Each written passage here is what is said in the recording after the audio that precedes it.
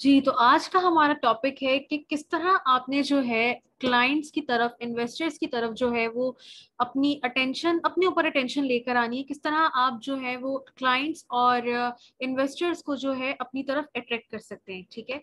तो सबसे पहले आपने जो है फेसबुक ऑब्वियसली सबके पास फेसबुक होगा, ठीक है? आपने साइन इन करना है और उसके बाद आपने जो है सबसे पहले जो है अपने जितने भी अमेजोन के ग्रुप्स हैं, आपने वो सारे जो है उनको क्या करना है आपने आपने उनको जो है वो उन ग्रुप्स को ज्वाइन कर लेना है। ठीक है? यहाँ पे आप सिंपली लिखें अमेजोन ग्रुप्स एंड देन आपके पास यहाँ पे जो है वो मल्टीपल ग्रुप्स आ जाएँगे, ठीक है?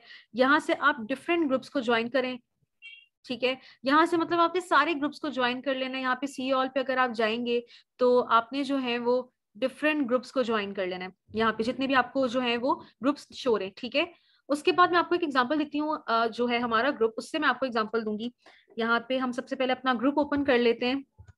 ठीक है?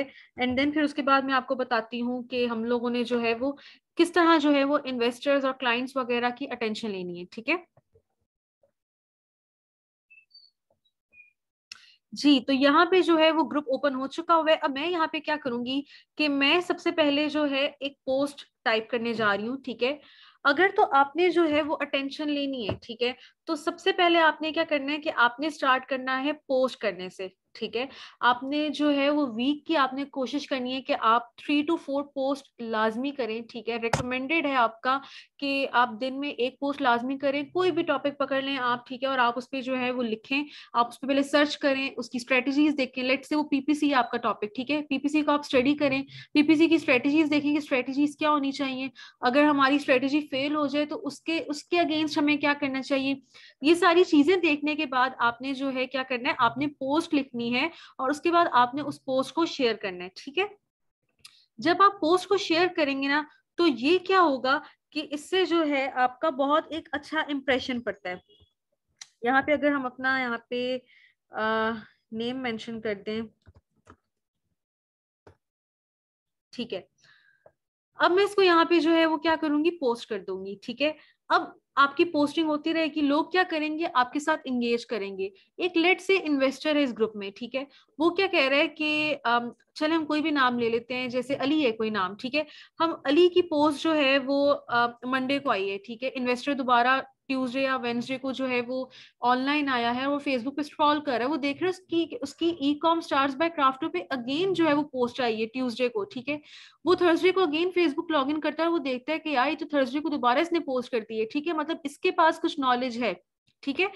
तो इसका मतलब जब आप पोस्ट करते हैं तो आप अपनी विजिबिलिटी शो करवा रहे होते हैं क्लाइंट को या इन्वेस्टर को और उसको समझ आ रही होती है कि ठीक है, इस पर्सन के पास नॉलेज है। एक तो आपने ये करना है।